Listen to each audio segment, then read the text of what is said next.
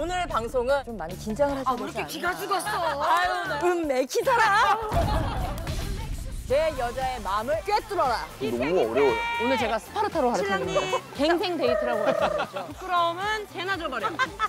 여알못에서 여잘알로 바꿔드리겠습니다. 갬성, 갬성. 동작 그만, 동작 그만. 맞춤형 로맨틱 신랑 수업 데이트를 준비했습니다. 쪼! Let's party 미친 짓이야. 결혼한다. 아, 박나래 씨! 선물도 자주 하세요? 아니요. 요리해준 적도 있고. 모르면 배우면 돼요. 몰라서 안 하는 거지. 알면 할 거잖아, 이제.